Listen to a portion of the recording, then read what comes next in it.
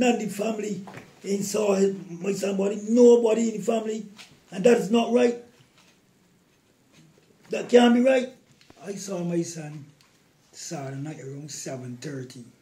Well, me don't really get along like father and son, but we love one another. He asked me if he want some money. I tell him if he want ten dollars. I tell him yes, because it was his mother's birthday. He give me ten dollars. And he he can call his sister until she come home from work because it's his mother's birthday and Vegan Jones.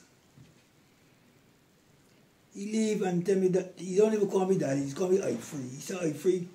I got no more John I can come back. I said, do what you gotta do, do you?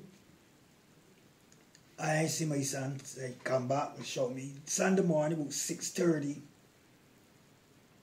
I hear his car horn blowing. I the blind, I see a swift car parked outside. I already know anybody is coming in a swift car. So I got up and went, put a towel around me, went outside. It was a police officer. He had one uniform pants, but no shirt, the top shirt. I said, well, if man, the police got uh, Kimodong Central. I said, my son wants some help. See if we get in a program, a drug rehab or something for me. He said, all right, shout came for me.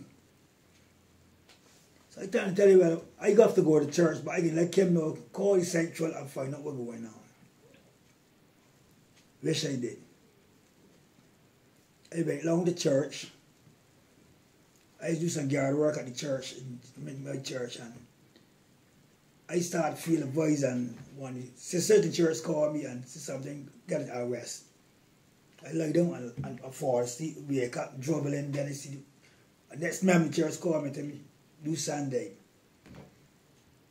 After I ain't got nobody to call, I said, yes, call Kim Richards' sister. And I called his sister, I couldn't even talk to she she was crying and getting on. So I leave church and come home. Up to now, I ain't see my son body yet. And people went and view my son body and I ain't see my son body yet. They said, they said we come Monday at 9 o'clock to the morgue.